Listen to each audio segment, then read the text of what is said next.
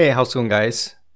In this video, we're going to learn how to insert context menu to a QListWidget item.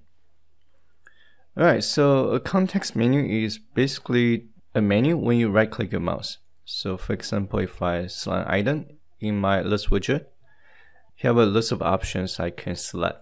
And that's what known as the context menu.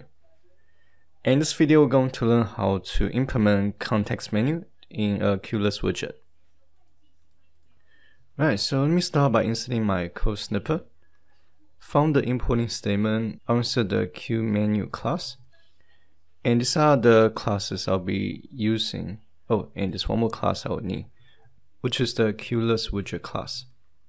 And I will need the horizontal box layout. And from the Qt core module, I'll insert the QEvent class. Now here's my code template. Inside my app class, I'm going to uh, start by creating my list widget. Oh, and here's my layout object. I'll name the list widget self.list widget. And I'll add three items to my list widget. And I'll add uh, three companies. So Facebook, Microsoft, and uh, Google. Then I'll add the list widget to my layout object. Now let me take a look in here. Oh, I need to import the Qt class as well. Alright, so here's my window. And let me uh, decrease the window size. So let me change the dimension to 800 by 600. Right. Now we have uh, three list widget items, Facebook, Microsoft, and Google.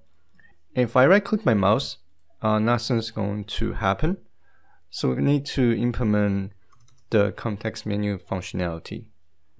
So I'm going to do here is I'm going to insert an event filter and the event filter has uh, two parameters, source and event. So source will look at uh, the income signal source. And event will basically detect whether the event that you are providing. Here I'm going to insert if condition. I'm going to say that if event type is equals to context menu so by default, uh, when you right click a list widget item, the event filter will automatically recognize that as a context menu event. You also need to uh, insert another condition. And if the uh, source is coming from a list widget, or list widget object in this case, I want to uh, implement this event filter to my list widget object first. And we can do that using the install event filter method. Now let's just test it out first. So I'm going to print the event and the source. Oh, and here I'm a error, type error. And let me fix that right now. So from the event filter method, uh, the expect output should be true or false. So boolean value. So inside the loop, if the uh, conditions are met, I'm going to return 2. Otherwise, I'm going to return the initial uh, state value. It's going to be source and event. Right, now let's try again. So if I right click, it's going to detect the signal as a context menu and the source is coming from our list widget object he will have Q context menu event object. Now inside this if statement, we can now uh, implement any action or operation we want. So I'm simply just going to uh, create a menu item using the Q menu class. And from the Q menu class, I'll use the add action method to insert my uh, menu items. So name this action 1, action 2, and action 3. Now at this point, if we launch the application and if we right click our mouse, and what's my uh, menu item? Let me see. Oh, I forgot to execute the menu. Here, me insert the execution statement.